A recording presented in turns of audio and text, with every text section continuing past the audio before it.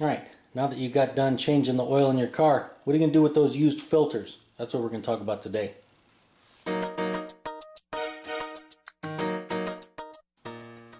Alright, before we get started, you need to know the laws and rules and regulations in the area you live. There's lots of places that uh, have special rules regarding this stuff, and so you need to make sure you know the laws in your area.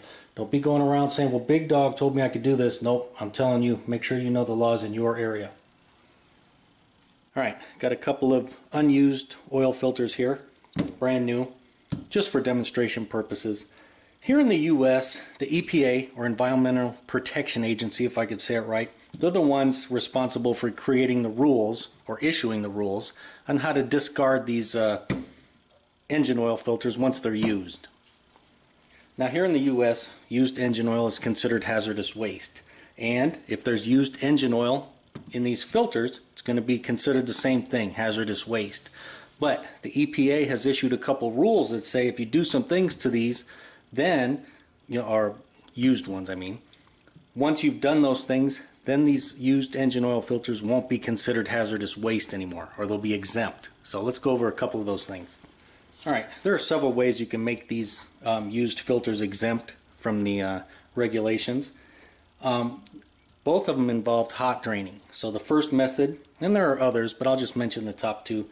The first me method is we puncture a hole in the top and then let it hot drain.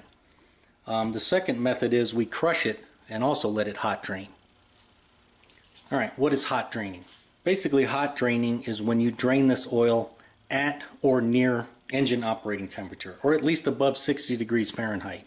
Now, when you're doing a standard oil change, most manufacturers want you to bring the engine temperature up to operating temperature so that all the oil free flows out. So that's uh, that's a standard procedure anyway. So in most cases, that's what you should be doing.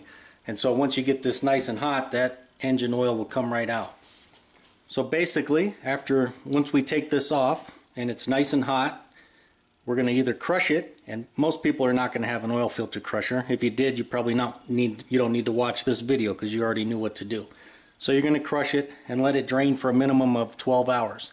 24 is better, but the EPA says it's got to be a minimum of 12. Or we puncture the top and then let it drain for the same thing. Minimum of 24, I'm sorry, minimum of 12, but 24 is better. And so those are the two number one ways of uh, making these so that they're exempt from those uh, regulations for being hazardous waste. Now one of the problems you'll run into when trying to puncture these is it's hot and it's coated with oil so it slips all around.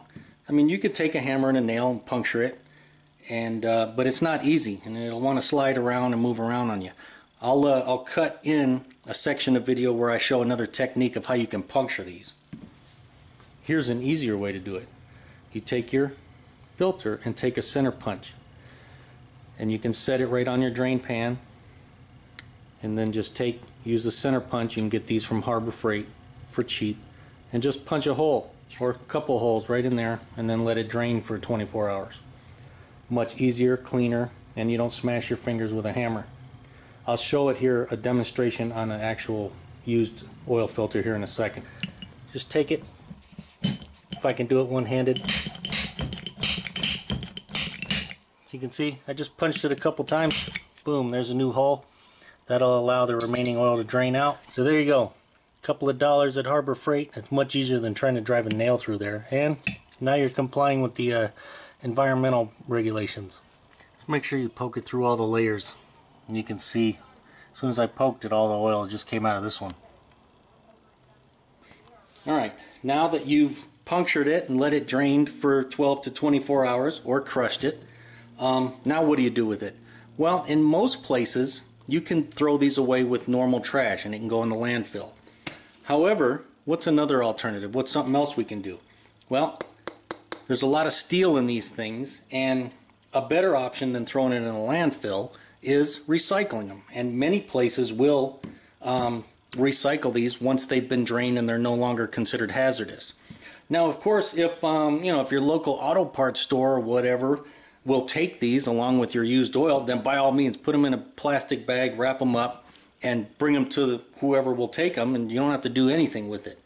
But uh, many places don't like to do that. And so recycle them, recycling them is definitely a great option. And here in the US, each year 160,000 tons of steel is used to make engine oil filters. So that's a ton, no pun intended, of steel that could be recycled and used elsewhere. And as you can see, these three filters right here have been punctured and drained for 24 hours, so they're ready to go. Well, there you go. Hopefully after you've watched this video, you're a little more educated on used engine oil filters. And as always, if the video helped you out or you liked it, make sure to give it a thumbs up. Thanks for watching.